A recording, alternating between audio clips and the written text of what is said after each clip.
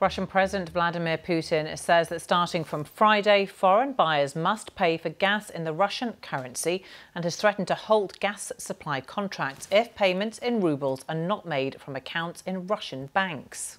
Today I signed a decree uh, setting up the rules of uh, trading of Russian gas, natural gas, with so-called unfriendly states we suggest to our counterparties from those countries a clear and uh, transparent scheme. In order to purchase Russian natural gas, they should open uh, ruble accounts in the Russian banks. It's exactly from those accounts payments will be executed uh, for the gas uh, supplied starting from tomorrow, from April the 1st in case uh, such payments uh, uh, fail and not executed, we'll consider them as uh, uh, non-payment uh, from our counterparties. nobody sells us free of charge anything, and we're not going to do charity either. All the existing contracts will be suspended. Let's get the latest live now from Moscow with our correspondent Jenny Hill. Jenny, welcome to you. Vladimir Putin warned or threatened of this last week, and now it seems he is going ahead with the threat. What more did he say? Yeah, um, before I tell you more about what he had to say, I think it's probably worth talking about what's actually in this decree he signed and what this actually means in practice.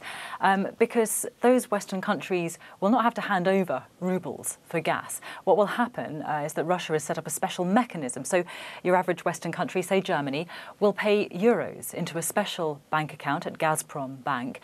The bank will then take that currency, trade it on the stock exchange here in return for rubles. The rubles will then go back into a second Russian Bank account from which the payment will be made in return for the gas. So in practice, it's rather different from this, you know, great headline that Western companies will have to uh, come up with, with rubles for the gas, otherwise they're going to get cut off. So we'll have to see how this actually starts to work. But I think it's important just outlining that the actual, in practice, is a li little bit more convoluted than perhaps Mr. Putin is suggesting in, in that press statement. So that would imply that we've had reaction from Germany and France already rejecting these demands that they pay for gas in rubles.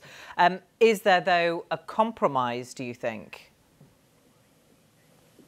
Well, I, this sounds, on the face of it, to almost be a bit of a compromise. Um, we know that Vladimir Putin outlined this mechanism on the telephone to Olaf Scholz last night. Now, Mr. Scholz came away, by all accounts, a little bit confused, but the headlines um, last night in Germany were saying it looks as though we will be able to technically pay in euros. So let's see um, what, what countries make of this, um, but certainly worth bearing in mind how this is going to work in practical terms. Um, there's no doubt that Vladimir Putin is on really belligerent form this afternoon. Look, his country is really burdened by sanctions. The invasion hasn't perhaps gone as well as he wanted it to, but he is really hitting back, rhetorically at least, against the West. You know, in this uh, speech, this televised speech, he was uh, blaming the West for waging an economic war against Russia, a war that it's been waging, he said, for years now. You know, the West would have brought in sanctions against us anyway. They'd have found an excuse use. Um,